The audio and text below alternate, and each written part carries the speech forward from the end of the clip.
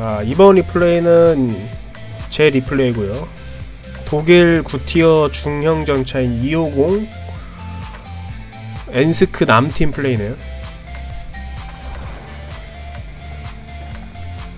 시탑방이고 자주포 한 대씩 있고. 250 같은 탱크는 이제 요즘 약간 인기가 없는 중형전차 라인이기도 해요. 독일 중형전차 라인 중에서 예전에는 되게 좋았는데 최근 들어서 안 좋은 평가를 받는 이유가 이 독일이라는 이 250 트리라는 장점이 뭐냐면은 장갑을 어느 정도 가지고 있는 무게량 무게도 어느 정도 나가고 장갑을 가지고 있는 약간 헤디움의 향기를 좀 내보내는 그런 탱크라고 볼 수 있단 말이야 이 독일 중형전차 이 250 트리가. 근데 소련 탱크 중에 430U라는 트리가 생겨가지고 예전에는 그 430U 트리가 장갑이 애매한 장갑을 가지고 있으면서 그냥 그, 그도 걔도 헤드움이긴 한데 애매한 장갑을 가지고 있었단 말이에요. 근데 지금은 장갑이 확실히 강해졌어요. 250은 거의 넘사벽적으로 상대도 안 될 정도로 장갑 성, 성능이 되게 좋고 기동력도 받쳐주면서 주포 데미지도 세가지고 250이 이제 완전 죽어버린 거지 그 동일한 헤드움이라는 탱크의 그 같은 라인에서 완전 밀려버리는 거예요. 탱크 성능, 성능적인 부분에서. 그래서 이 탱크가 요즘 인기가 없는 거예요. 그래도 이 탱크를 잘 타는 사람도 잘 타는데 어떻게 타야 되냐면은 이놈의 약점이 그 포탑의 이 포방패는 큰 편에 속하는데 이 옆에 볼따구가 수직 장갑이에요. 보시면 옆에서 보면은 수직까지는 아니더라도 거의 수직에 가깝게 각이 직각에 가까워요. 그래서 상대방 골탄이라든지 은탄에 여기에 맞으면 뚫려요. 골탄에 뚫리면 몰라도 은탄에도 맞으면 뚫려요. 웬만한 9티어 10티어 관통력 한 250 이상 정도 되는 탄은 여기 맞으면 뚫려요. 그리고 하체도 뚫리고. 상판대긴 강해요. 상판대기는 웬만하면 안 뚫리는데 이 포탑과 하체가 뚫린다는 단점으로 인해서 플레이하는 게 조금 지, 되게 힘든데 어떻게 얘를 플레이하냐면은 상대방한테 이렇게 정면 싸움을 하지 말고요. 약간 각을 이렇게 줘. 이 정도 각을 준다고 생각해요. 그리고 앞뒤로 흔들어 차체를. 그러면은 어떤 어떤 생, 상황이 발생하냐면은 상대방이 이렇게 보고 있어. 차체를 비스듬하게 틀어놓고 앞뒤로 무빙을 하면서 상대방과 싸우게 되면은 이 탱크 자체가 어느정도 헤디움성 탱크라서 역기타임과 티타임을 잘 이용해가지고 앞뒤로 흔들어주면은 상대방이 노릴만한 것은 하체 혹은 이 포탑인데 하체도 티타임이 잘 예리하면 잘 안 뚫려요. 그리고 이제 포탑을 쓰게 되는데 포탑이 볼따구가 그렇게 큰 편이 아니어가지고 이 상태에서 앞뒤로 움직이게 되면 볼따구가 볼따구를 조정으로 쐈는데 탄이 포탑을 맞는 거야. 이 포함패로 맞는 거야. 포함패는 안 뚫려요.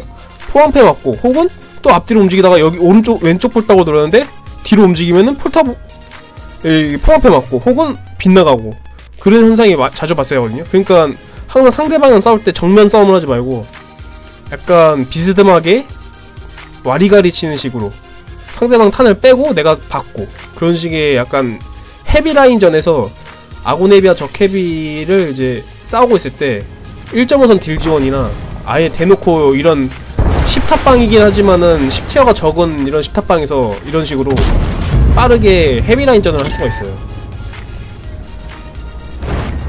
지금은 제가 상황을 뭔가 게임 시작하자마자 픽을 봤어. 60TP 4005 뭐 10티어 중형전차 두 대도 얘네들은 사이즈가 딱 봐도 이쪽 계열지 쪽갈 것 같았고.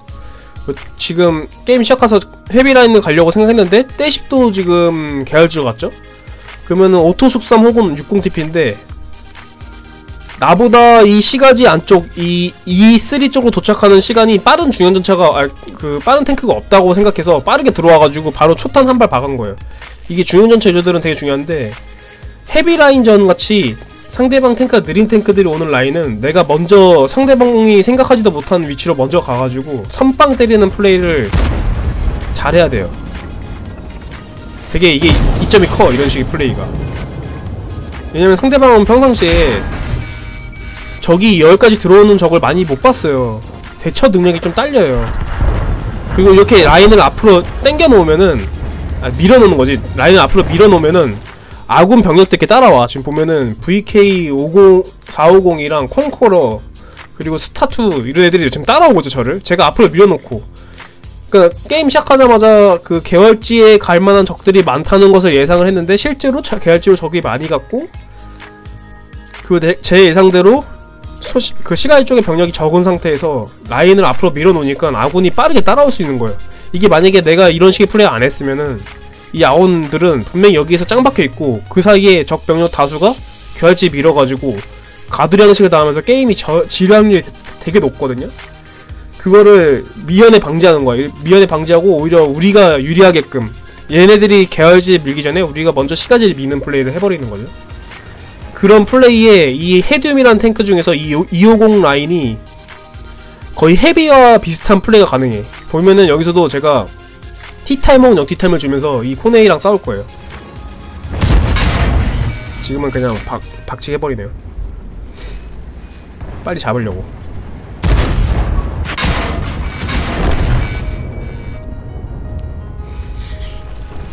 큰 손해 봤죠? 이거 60TP 탄 안 씹었으면 죽었죠 지금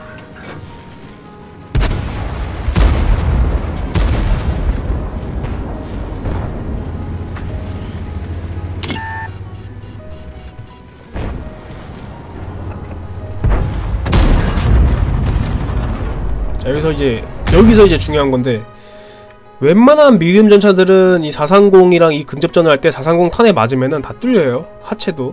웬만하면 뚫려 얘가 뭐 광통력이 높은 탱크는 아닌데 근접이잖아요. 근접일 때는 관통력이 낮은 탱크들도 관통력이 좀 센 편이란 말이에요. 근데 이 250이라는 탱크는 이런 근접 전투에서 언패물을 끼고 플레이를 어떻게 하냐에 따라서 거의 헤비에 가까운 능력을 보여줄 수 있어요. 티탄 어틱템을 이용해서 잘 보세요 궤도만 살짝 보여줘가지고 궤도로 탄 씹어주고. 난딜 넣어주고. 자 티타임. 취소했죠.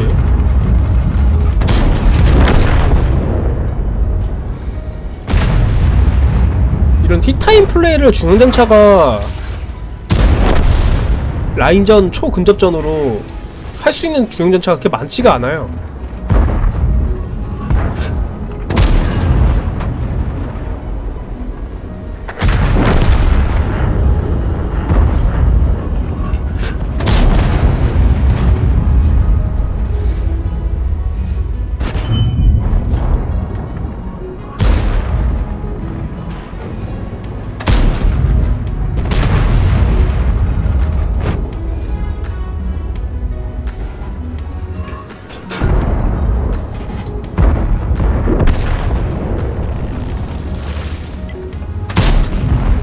떼 22 med 저 탱크가 약간 그 907이랑 비슷한 느낌이더라고요.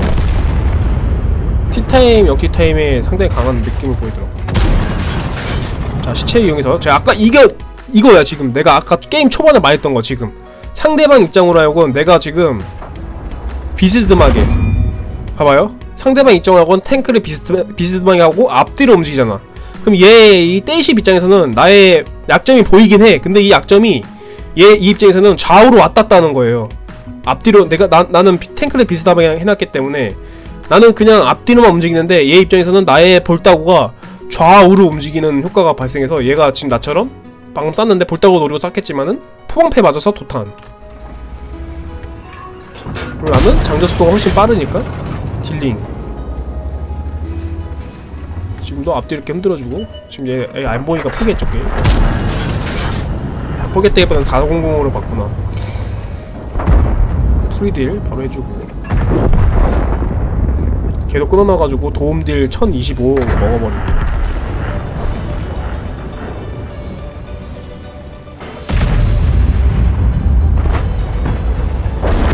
필타님 안녕하세요. 이제는 뭐 게임 이겼죠? 이 게임을 승리로 가져간 플레이가 진짜 아주 사소한 플레이인데 pick을 읽고 내 탱크의 장점을 살리고 그리고 그 pick과 내 탱크의 장점을 살리면서 할 수 있는 최고의 플레이가 라인을 빨리 미는 플레이예요.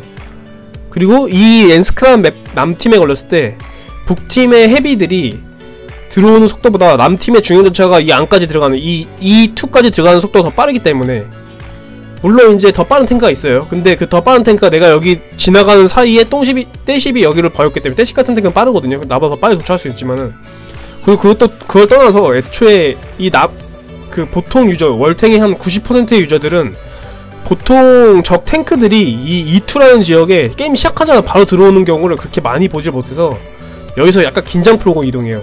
그 웬만한 탱크들은 아까 그 60TP처럼 여기 붙어 있거나 여기 붙어 있는 경우가 되게 많고 아까 430유도 그렇고 떼사사도 여, 여 안에 있었어요. 대부분 이 안쪽에 여기 이 두 개, 이 D4, 이 D4 라인에서 꿀을 빨려고 여기 처박혀서 초반에 그다가 좀 아 별로 없네 하면 이제 슬금슬금 헤비라인으로 간단 말이에요. 저는 그거를 월탱하면서 많이 봤기 때문에 그리고 pick 상황상 내가 그런 그런 거를 노리고 초반에 빨리 밀어서 아온 병력들을 이 시가지 이 투항까지 들고 들어 보낸 다음에 라인을 빨리 정리하자 이런 느낌으로 게임을 시작한 거예요. 그래서 지금 게임 결과가 이렇게 된 거예요. 근데 만약에 이게 아니라 아군 병력들이 이 시가지에서 힘을 쏘, 쏟지 않고 계속 뒤에서 그냥 적이 올 때까지 기다리는 라인전을 했으면은 역으로 이 반대편 라인이 빨리 밀렸을 거예요. 왜냐면은 우리가 시가지 라인을 빨리 밀었기 때문에 적들이 백업 병력이 오느, 오느라 이 라인을 못 민 거지. 적들이 시가지에 잘 버티고 있었고 얘들 백업 병력이 안 왔으면은 여기 라인은 우리가 역으로 밀렸을 거예요. 결론은 이 replay를 배울 수 있는 점은 pick과 이 E50이라는 탱크의 장점과 E50의 탱크로 이제 난전을 할때 노하우 그리고 이런 전략이 있다. 내가 앞에서 선두로 그 아곤 헤비들을 이끄는 전략이 있다. 그 정도가 되겠네.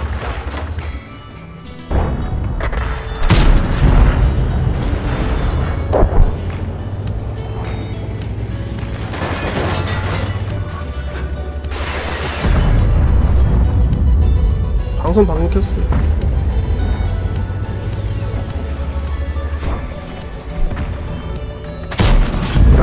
마지막 깔끔하게 TV까지 잡아가지고.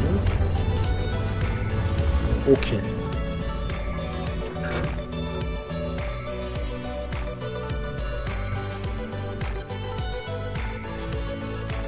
결과창은